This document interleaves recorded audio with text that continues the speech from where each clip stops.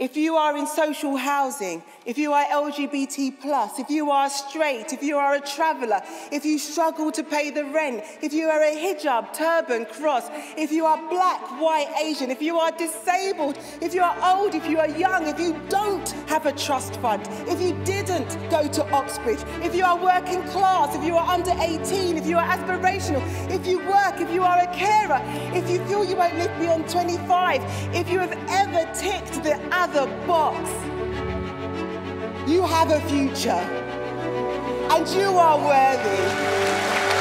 Worthy. Worthy of equality, worthy of dignity, and worthy of respect.